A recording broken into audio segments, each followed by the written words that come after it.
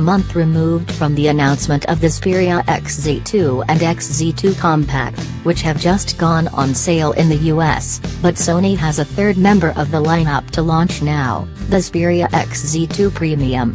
The XZ2 Premium is mostly the same as the standard XZ2, aside from a handful of notable internal changes, the display is 4K resolution, HDR capable and moderately larger at 5.8 inches, and it has dual cameras on the back with a new sensor that has the highest ISO sensitivity of any mobile camera.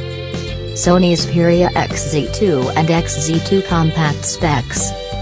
Sony's latest 4K HDR smartphone display tech is 30% brighter than the last version, which is a welcomed addition, though the situation of finding native 4K HDR content to play on your phone hasn't really improved. Of course you can shoot your own with the XZ2 Premium, and the software can upscale other content, but how much better it looks and how great it is to warrant the battery hit of playing it back is still questionable.